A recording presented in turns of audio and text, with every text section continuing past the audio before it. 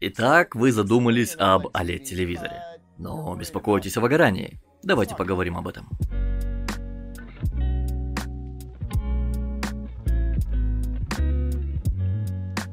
Приветствую всех, я Калеб Деннисон, и сегодня хочу поговорить о риске выгорания OLED-телевизоров. За последние 10 лет или около того было много разговоров на эту тему, но за это время также произошло много изменений, особенно в последнее время. Возможно, вы слышали противоречивые истории от владельцев OLED-телевизоров. Одни говорят, что у них не было проблем, другие, что они сильно выгорели. Возможно, вы знаете о текущем тесте на выгорание, проводимом rtings.com. По этой теме много слухов. Некоторые из них ценные, некоторые нет. И, как говорится, трудно отделить зерна от плевел. Поэтому я здесь, чтобы попытаться привнести некую точку зрения. У меня у самого большой опыт использования OLED-телевизоров. У меня есть друзья и родственники с опытом использования OLED-телевизоров. Я провел значительное количество времени, общаясь с инженерами как компании, которые производят OLED-телевизоры, так и тех, кто занимается разработкой технологий, которые используются в этих телевизорах. Исходя из всего этого, я разработал, как мне кажется, довольно надежное руководство по теме выгорания OLED-телевизоров, хотя оно и не совсем простое.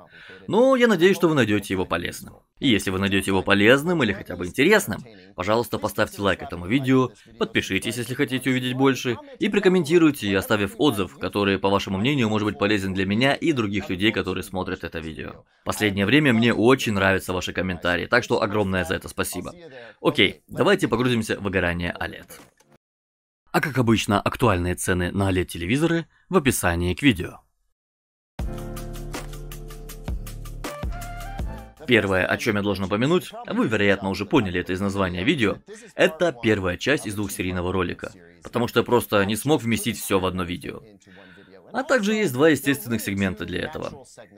Имеются WLED, которые производят LG и делятся этой технологией Sony, и имеются новые QD-OLED, которые привносят совершенно другой фактор в этот бизнес выгорания. Поэтому мы начнем с небольшой истории, выясним, как мы пришли к тому, где мы сейчас, и поговорим о риске выгорания современных WLED. А в следующем видео мы перейдем к действительно важным вещам вокруг QD OLED. Хорошо, начнем. Время истории. Иногда я говорю, не стесняйтесь, пропускайте историю, если хотите. Но в этот раз я попрошу вас задержаться, потому что история о том, как мы сюда попали, влияет на психологию, лежащую в основе нашего отношения к экранам. И эта часть становится важнейшим компонентом к концу этого и следующего видео. Так что оставайтесь со мной, обещаю, это будет интересно. В этой связи забавный факт. Выгорание экрана телевизора существует почти 50 лет.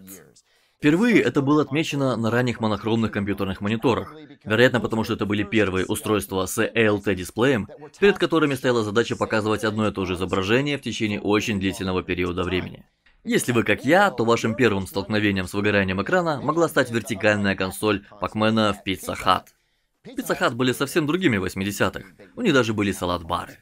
В любом случае, проблема заключалась в том, что люминофоры на обратной стороне стекла экрана были постоянно повреждены из-за необходимости отображать одно и то же в течение длительного периода времени, будь то граница окна программы или барьеры лабиринта в Пэкмане. Это стало настолько распространенным явлением, что для его предотвращения был создан скринсейвер. Все же выгорание не часто встречалось на телевизорах в домах людей, потому что, во-первых, было редкостью, чтобы телевизор вообще показывал статичное изображение, не говоря уже о чрезвычайно длительных периодах времени. Было не так много контента, который мог бы вызвать выгорание, и я подозреваю, что в основном люди, вероятно, не оставляли свои телевизоры включенными так надолго. Я знаю, что моя семья и друзья точно не оставляли. Но потом, потом появились плазменные телевизоры, и люди начали замечать выгорание на своих телевизорах дома. Интересно, что плазменные телевизоры по-прежнему используют люминофор для излучения красного, зеленого и синего света, но они используют другой метод для возбуждения этих люминофоров.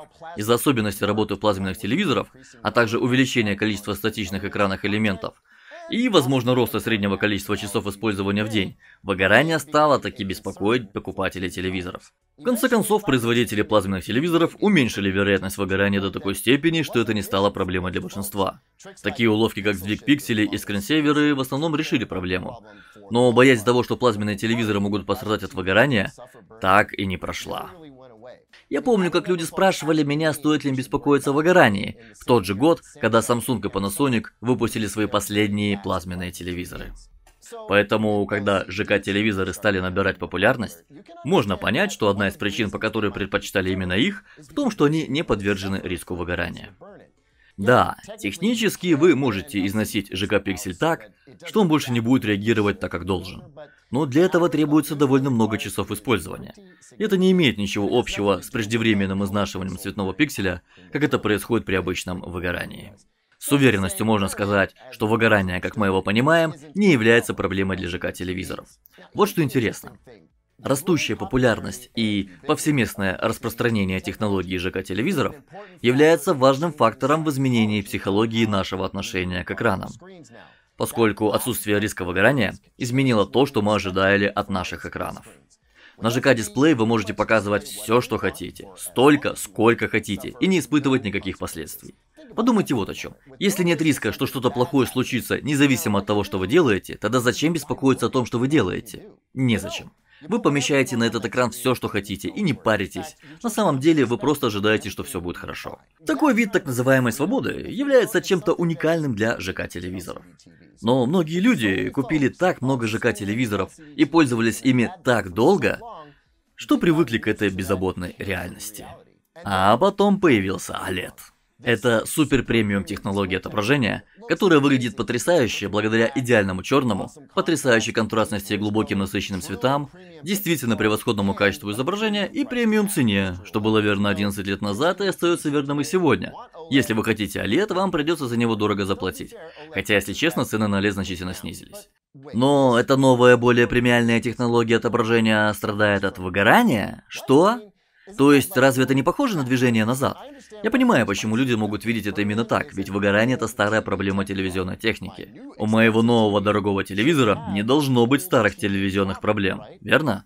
А, но они есть. Были. Ну, иногда. В OLED-телевизорах используются органические соединения. А эти органические материалы имеют период полураспада, в течение которого они могут изнашиваться. И результатом их неравномерного износа является выгорание.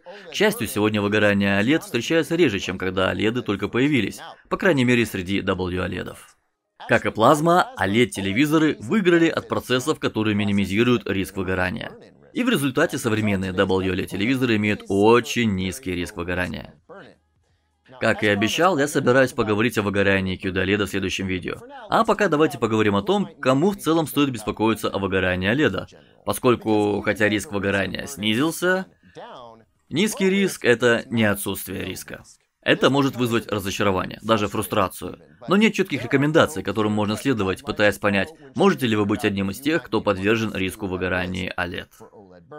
В основном потому, что нет достоверных данных о том, когда именно вы переходите порог от э, нерискованного использования к рискованному.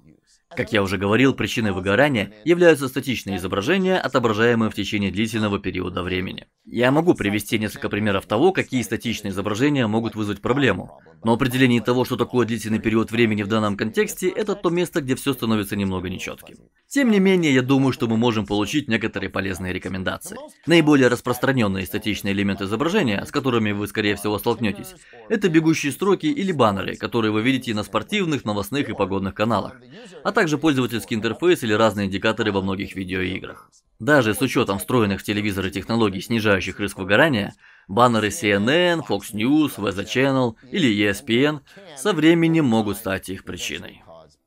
То же самое относится к видеоиграм, где часть экрана никогда не меняется. Это может быть приборная панель автомобиля в гоночной игре, или, например, индикаторы здоровья в РПГ. Итак, это обычные вещи, которые могут вызвать выгорание. Но сколько времени потребуется для того, чтобы они реально вызвали это выгорание? Отчасти невозможно выработать э, универсальный ответ, так как существует очень много переменных. Одна переменная – настройка яркости вашего телевизора. Другая переменная – как долго вы играете в игру каждый день. Третья – сколько дней подряд вы играете в эту игру. И четвертая – сколько месяцев. Слушайте, лично я бы не советовал воспроизводить один и тот же контент со статичными изображениями более трех или четырех часов в день, каждый день, в течение нескольких недель или месяцев подряд. Такое использование в конечном итоге может привести к проблемам. Оставляйте CNN включенным в течение 8 часов в один день, но ограничьте использование до часа или двух в большинстве других дней, и все будет в порядке. То же самое касается видеоигр. Если вы будете усердно играть в одну игру со статичными элементами по 8 часов в день в течение недели, может быть двух, то все будет хорошо. Но если вы собираетесь играть по 4 часа в день в течение целого месяца, то будет казаться, что выступаете на слегка опасную территорию. Начинаете чувствовать ту грань, которую не стоит переходить? Я бы сказал, что если такое использование не похоже на то, что вы делаете, то вам не о чем беспокоиться.